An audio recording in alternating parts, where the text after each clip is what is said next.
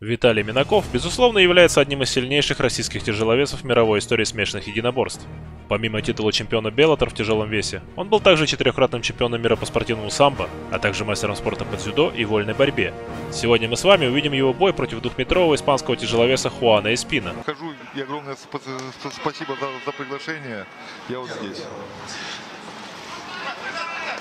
Ой, красавец! Вот, что наз- наз- называется бокс. Есть такой анекдот, когда вот даже мы смотрим, вот есть такой анекдот, когда э, боксер спрашивает, ну как ты выжил? Это вот правой сбоку пропустил удар, испанец, и все закончилось. И здесь еще там 2-3 удара, да, и все. Это когда, э, знаете, задают боксеру вопрос, ну как ты отбоксировал? Он говорит, да знаете, я говорит, левой бью, все там, правой бью, все там. Начинаю сдваивать, раз-два, и слышу три, четыре, пять. Уже считаю.